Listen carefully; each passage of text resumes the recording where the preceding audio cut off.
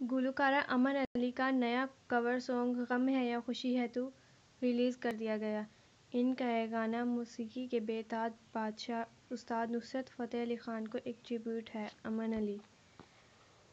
मारूफ गुलकारा अमन अली का नया cover song गम है या खुशी है तू रिलीज़ कर दिया गया। तफसीलात के मुताबिक इस वीडियो सॉन्ग को गुज़िश्ता रोज़ Aman Ali official YouTube channel दीगर सोशल साइट्स पर रिलीज़ किया गया।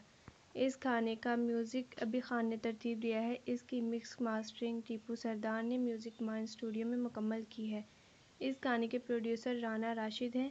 एक मुलाकात के दौरान अमन अली ने बताया कि इससे कबल ये सदाबहार गीत उस्ताद नुसरत फ़तेह अली ख़ान मरहूम ने गाया था, जिसने दुनिया भर में मकबूलियत हासिल की थी। एक सवाल के जवाब में अमन अली का कहना था कि इस गाने को उन्होंने अपने प्रमोटर्स और पुरस्कारों की भरपूर फरमाइश पर रिकॉर्ड करवाया है।